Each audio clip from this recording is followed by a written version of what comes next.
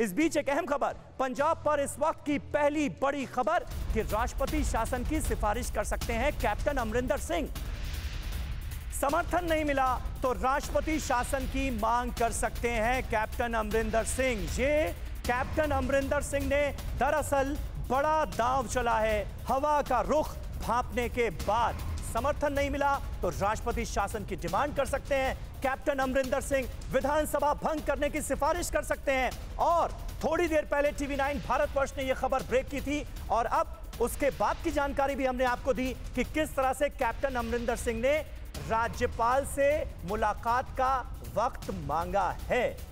हमारे साथ राहुल सिन्हा हमारे सहयोगी इस वक्त जुड़ रहे हैं। राहुल कैप्टन और सिद्धू की ये जंग। एक वक्त ऐसा लग रहा था, मानो कांग्रेस पार्टी ने आला कमान ने इसका सोल्यूशन ढूंढ लिया है। सिद्धू को पंजाब कांग्रेस की कमान सौंपकर लेकिन आज न सिर्फ़ सिद्धू अपना दम दिखाते हुए नज़र आ रहे हैं, बल्कि विधानसभा भंग करने की नौबत आ गई है। ये स्थिति है। देखिए, ये तो तय है कि इस वक्त पंजाब की स्थिति कांग्रेस की दृष्टि से देखें राजनीतिक तौर पर सरकार के तौर पर तो नुकसानदायक है हाँ। लेकिन अगर आप इसको नेतृत्व के तौर पर देखें और अगर इसको सेंट्रल लीडरशिप के तौर पर देखें तो समीर यहाँ पर सेंट्रल लीडरशिप आपको मज़बूत होती हुई नज़र आती है क्योंकि अभी तक जो पंजाब में दिखाई दे रहा था उसे देखकर लग रहा था कि कैप्टन अमरिंदर सिंह कहीं ना कहीं भारी पड़ सकते हैं हाँ। अगर ये हालात बनते हैं लेकिन आज जो तस्वीर सामने आ रही है उसमें तमाम विधायकों ने यह साबित कर दिया कि वो कांग्रेस पार्टी के साथ हैं कांग्रेस आला कमान के साथ है यानी दिल्ली से जो संदेश दिया जा रहा है वो उसके साथ में और इस वक्त कैप्टन अमरिंदर सिंह अकेले पड़ गए शायद उन्होंने ये सोचा भी नहीं होगा कि इस तरीके के हालात पैदा होंगे।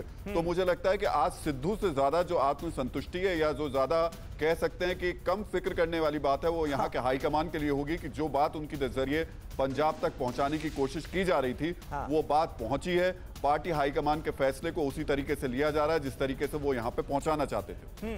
ये बड़ी बात है राहुल, और निश्चित तौर पर यह बड़ा पॉइंटर है जिसका ज़िक्र आपने किया, क्योंकि कांग्रेस आला कमान सिद्धू गुट के साथ खड़ा हुआ नज़र आ रहा है, और सिद्धू गुट का दबदबा साफ़ तौर पर नज़र आ रहा है। मैं इस पर आपसे बात करूँगा। मोहित के पास लगता है कुछ और जानकारी है। मोहित, बताएँ।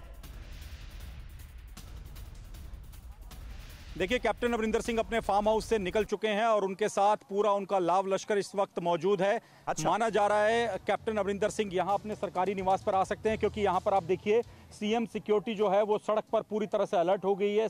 ये चंडीगढ़ के सेक्टर दो का सरकारी निवास है और यहाँ पर कैप्टन के आने की सूचना मिलने के बाद देखिए कुछ विधायक और कुछ मंत्री भी आ रहे हैं। लगातार गाड़ियों के आने का सिलसिला शुरू हुआ है लेकिन जो कैप्टन का कद है पंजाब कांग्रेस में उतनी संख्या यहाँ पर नहीं है। ये बात शायद कैप्टन को भी पता है इसी वजह से सोच समझकर पूरी तैयारी के साथ वो निकले अपने घर अपने फार्म हाउस से और यहाँ पर सरकारी निवास पर आएँगे। आप देखिए सीएम सिक्योरिटी पूरी तरह से अलर्ट हो गई है क्योंकि कैप्टन के आने का शायद यहाँ पर इनको मैसेज आ चुका है। और उसके बाद माना जा रहा है कि चार बजे तक कैप्टन अमरिंदर सिंह यहाँ पर रुकेंगे उसके बाद वो राज्यपाल के पास जाएँगे और वो राष्ट्रपति शासन लगाने की सिफारिश कर सकते हैं, अपना इस्तीफा सौंप सकते हैं। हो सकता है उनके साथ कैबिनेट के कुछ मंत्री भी मौजूद हों, लेकिन ये बात हमें माननी पड़ेगी कि इस वक्त कैबिनेट में जो मंत्री हैं उनका भी बड़ा नंबर नवजोत सिंह सिद्धू के साथ है। तो क्या पूरी कैबिनेट एक साथ इस्तीफा देगी या फिर कैप्टन अमरिंदर सिंह कैबिनेट भंग करने की वहाँ पर सिफारिश कर देंगे ये देखने वाली बात होगी। लेकिन संख्या के नाम पर इस वक्त कैप्टन अमरिंदर सिंह काफ़ी पीछे चल रहे हैं और अब से थोड़ी देर में यहाँ पर अपने सरकारी निवास पर वो पहुँचेंगे।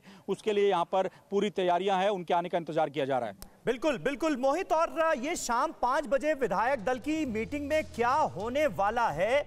नवजोत सिंह सिद्धू के जो प्रिंसिपल स्ट्रेटेजिक एडवाइजर हैं मोहम्मद मुस्तफ़ा उन्होंने ट्वीट किया, वो ये कह रहे हैं कि हमें दुख है कि कांग्रेस पार्टी एक अच्छा मुख्यमंत्री पंजाब को नहीं दे पाई।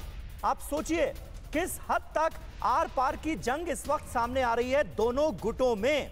वो ये कहते हैं कि पंजाब के दुख और दर्द को समझते हुए अब वक्त आ गया है कि मुख्यमंत्री का चेहरा बदला जाए। तो एक तरह से सब कुछ वो साफ़ कर रहे हैं खुद ही कि होने क्या वाला है विधायक दल की मीटिंग में। मोहित। देखिए इस पूरे मामले में नवजोत सिंह सिद्धू ने बड़ी ही समझदारी के साथ कैप्टन के खिलाफ पहले वो थोड़े से मुखर रहे लेकिन जब उनको पंजाब कांग्रेस अध्यक्ष बनाया गया हाँ। तो वो चुप हो गए। उनसे कोई भी सवाल कैप्टन के स्टेटमेंट पर या अन्य किसी मुद्दे पर पूछा जाता था तो वो कहते थे नो कमेंट्स मैं कुछ नहीं कहना चाहता। लेकिन एक तरफ़ उनके एडवाइजर सीधे तौर पे कैप्टन अमरिंदर सिंह को टारगेट कर रहे थे जो उनके खेमे के विधायक हैं मंत्री हैं वो टारगेट कर रहे थे। एक विधायक ने तो सामने आकर यह भी कह दिया था कि अगर कैप्टन अमरिंदर सिंह के चेहरे पर 2022 का विधानसभा चुनाव लड़ना है तो मैं चुनाव लड़ना ही नहीं चाहता। इस तरह के बयान वो दे रहे थे लेकिन सिद्धू पूरी तरह से खामोश थे। फ़िक्र आपकी। सोमवार से शुक्रवार, रात नौ बजे, सिर्फ़ टीवी नाइन भारत वर्ष पर।